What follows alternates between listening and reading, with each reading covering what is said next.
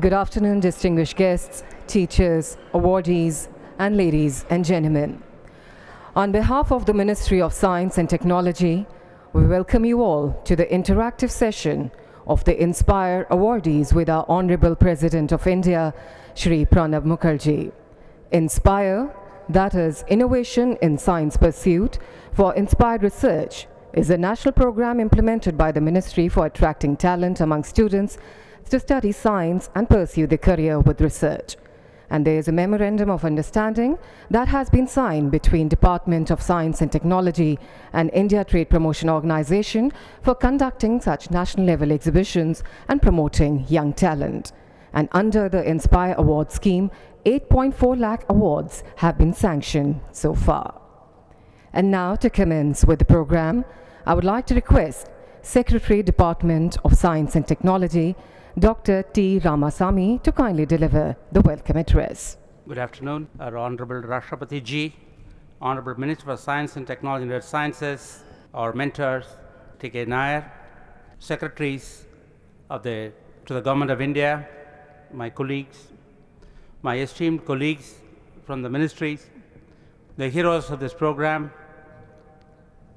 Inspire Award winners, mentor teachers, parents, distinguished guests, representatives of the media, ladies and gentlemen, what a pleasure has it been to welcome all of you to this special occasion called upon to celebrate the performance of Indian youth.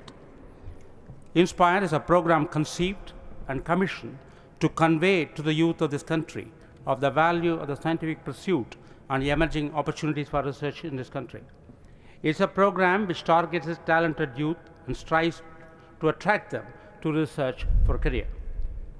Honorable Rashtrapati Ji, uh, we extend an affectionate and grateful welcome to you, sir. For heroes of the day in the age group of 11 to 16, this must be an experience of their lives. Meeting and interacting with the first citizen of the country may be like blessing from above. By welcoming our Honorable President, let me thank the first citizen for this extraordinary gesture. Sir, I wish to make a submission that the future Inspire awardees may also be similarly blessed. I like to address this to my young friends, especially children.